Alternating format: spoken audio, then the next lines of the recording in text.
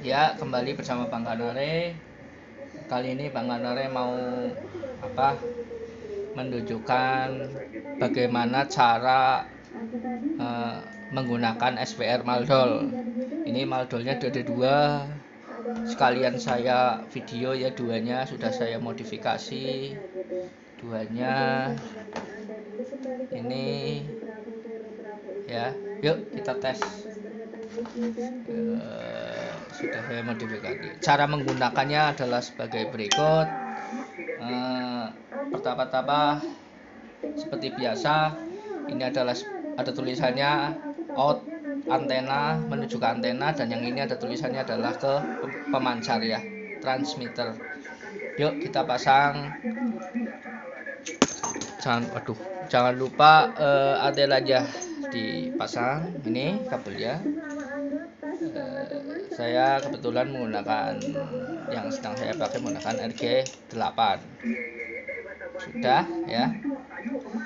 Uh, sudah lalu yang sebelah sini ada tulisnya transmitter yang sebelah sini ya ini. Ya. Kita pasang ke menuju ke HT atau perangkat yang lain. Intinya perangkat brick ya booster atau yang lain ya. Sudah? Untuk pengecekan watt pengecekan watt jangan lupa saklar yang ada di sebelah kanan sebelah sana. Itu ada power dan SWR kita lihat. Ini di sini. Ya SWR dan power. Sini ke atas buat SWR ke bawah butuh power. Kalau ngecek watt untuk power nanti lihatnya di kiri ya yuk. Satu-satu. Sekarang ngecek watt dulu. Dari skala 12 watt. Untuk Maldol ada dua skala ya. 12 watt dan 240 eh, watt. Gitu. Yuk kita cek berapa watt ini HT cuma 4 watt ya. Kelihatan. HT Cina. Cuma 4 watt. Nah itu kelihatan. Ya ya kelihatan sekarang cara mengecek SBR uh, antena kita matching apa enggak ya di frekuensi ini? Misalkan ini contoh saja di 1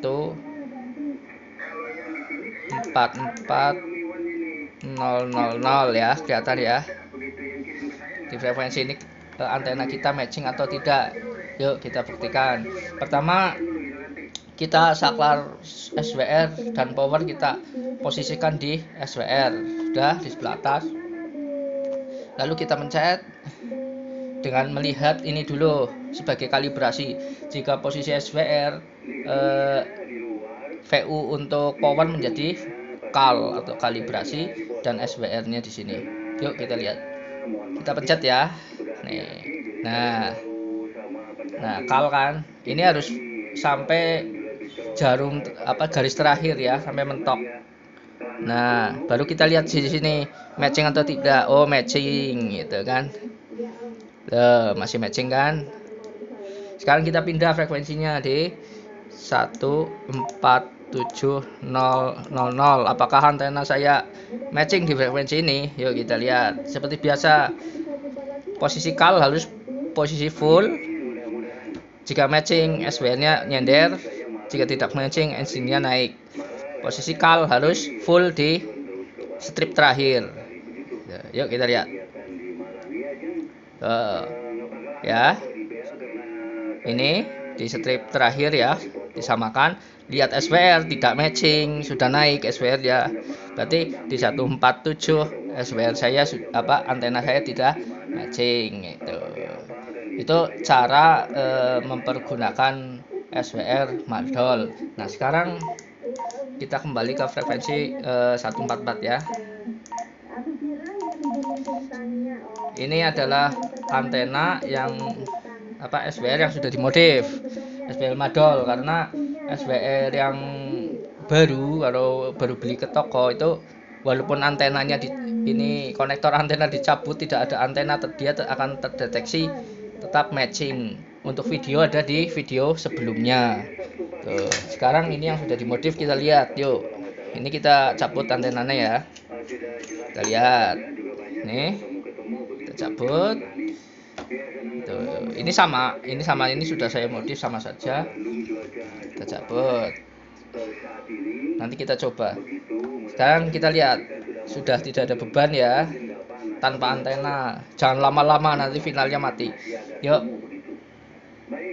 Wow naik kan nanti uh, seperti biasa kal harus selalu di uh, jarum paling terakhir strip paling terakhir. Lihat SWR nya tuh ini yang normal seperti itu.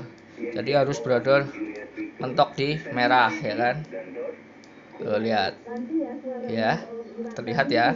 Ya ini SWR tuh seperti itu. Jika tidak ada beban otomatis dia akan naik mentok sekarang coba yang satunya. Tuh, masalahnya kalau SBM khusus maldol yang e, lokal itu seperti itu. Kecuali maldol yang e, mahal yang original dari Jepang itu bagus. Tapi ya harganya bisa 1,5 lebih. Juta. Ya yuk kita lihat e, SBR yang satunya. Ini tadi sekarang yang satunya. Tuh, kita lihat ya posisi pada SWR untuk power sudah sama. Sekarang kita lihat SWR nya saja.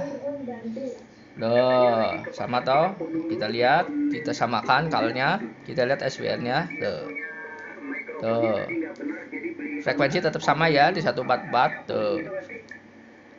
Sekarang kita pasang antenanya. Gitu ya kita pasang. Sama enggak 144 matching apa enggak tuh. dengan posisi kal kalibrasinya di uh, selalu kalibrasi harus di jarum paling apa strip paling terakhir. Di 12 dan 240 selalunya seperti itu. Semua SWR seperti itu. Ayo kita lihat. Antena sudah pasang frekuensi di 144 yuk. Uh, ini terlalu banyak ya. Di kal kalibrasinya bisa dilihat. Ya ini dipaskan dulu. Nah sampai pas dengan strip terakhir. Jika sudah dilihat SBR nya tuh lihat ya. Masih matching. Matching ya. Sekarang kita pindah di 148 misalnya. Ini contoh saja. Antena kita matching atau tidak di sini? Ya ini. 148 sekarang. Yuk. Masih di SWR kita lihat kita pencet kita kalibrasi lagi sampai mentok di strip 12 dan 24 240 ya. Lihat SPR nya naik. SPR nya naik. Berarti tidak matching. Berarti tidak matching ya. Tuh. ini jangan dipakai kalau bisa tuh e, bisa merusak e, radio kita nanti.